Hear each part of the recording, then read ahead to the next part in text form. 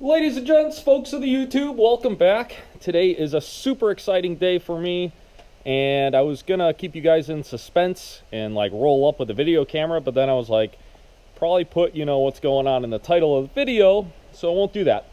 But we've outgrown the home garage here. It's uh it's been an awesome like year and a half of working at home and doing cool stuff and all that, but it's time to grow and all that good stuff. So I got a commercial space, super excited about it. So we're gonna go pick up Damon and uh, I'm gonna show you guys. He's only seen it from the outside as well, so it'll be his first time on the inside. It's got a lot of potential. We'll leave it at that. It's got a lot of potential, but it's gonna need a lot of work. And if you follow my channel, everything we do needs a lot of work. So per the usual. Let's take a ride. All right, boys, here she is.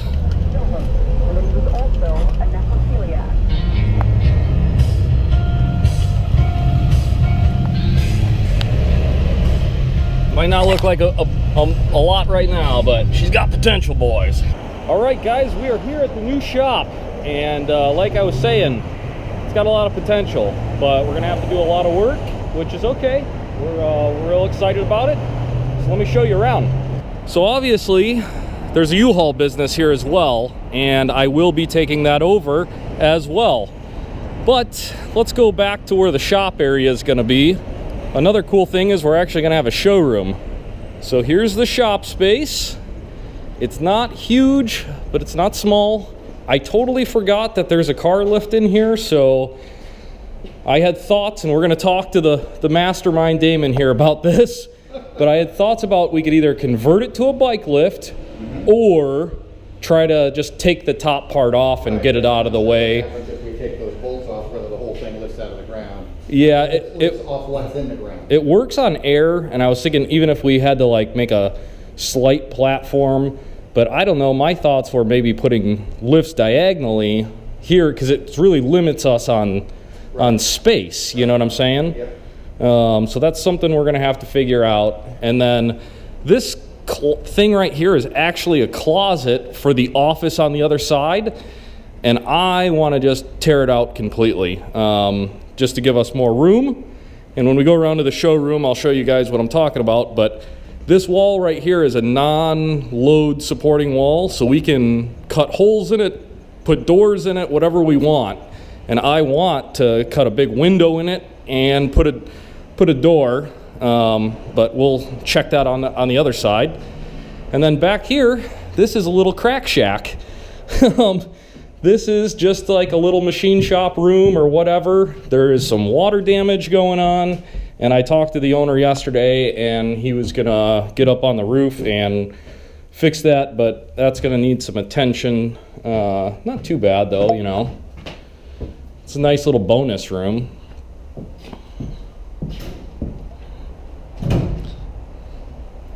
Little storage thing. The windows here, back here, are cool because it's got the steel. The garage door, we're gonna we're gonna do something with that. Up here, this is plexiglass, so I don't know if we'll put bars in there, or put metal pieces. Actually, instead of ha having the windows at all, I could just put sheet metal in there. But we're gonna do something Good thing is the building does have an alarm system.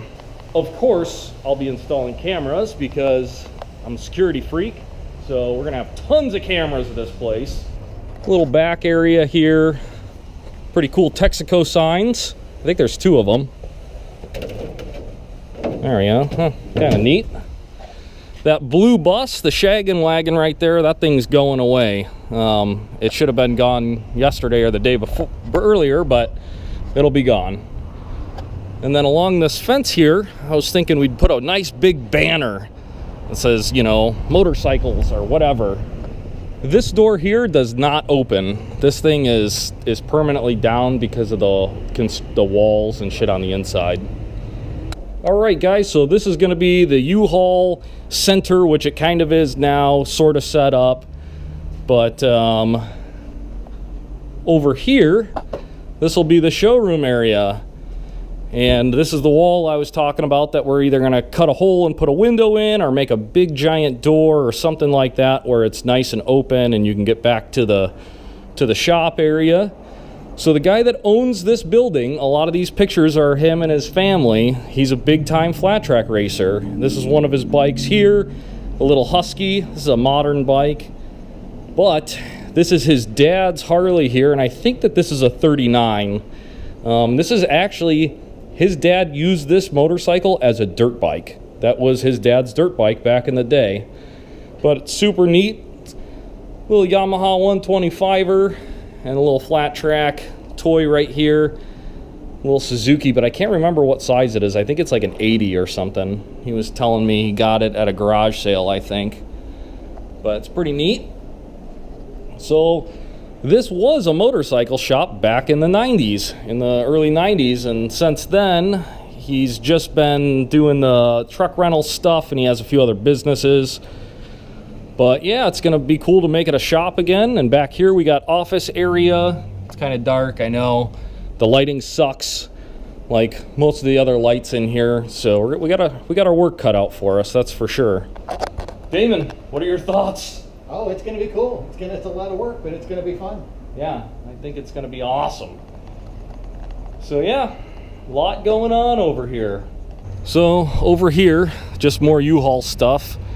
And we'll be able to clean clean this up a bit. Um, there's some garbage and stuff back here and this shed I want to clean up and make a little nicer.